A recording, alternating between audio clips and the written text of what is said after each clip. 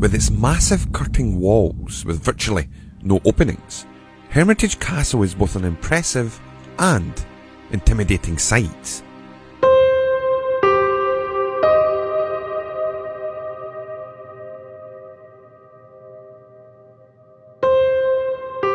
De Soulis is said to still haunt the area around the castle, with a large figure being seen on occasion both in the castle grounds and inside the castle. Workmen carrying out restoration work to the castle witnessed the figure looking out from a window on an inaccessible upper floor, which may cast doubt on whether this is in fact de Soulis, as the current castle did not exist during his lifetime.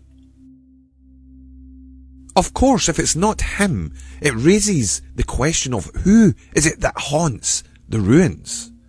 Perhaps it is James Hepburn, the fourth Earl of Bothwell, who was taken to the castle after being injured in a fight with castle thieves in October 1566.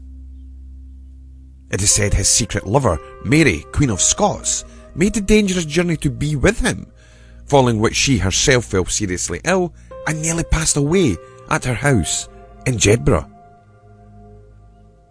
There are reports of children's cries being heard within the walls of the castle, which are believed to be the spirits of those imprisoned by De Soulis, still tied to this land.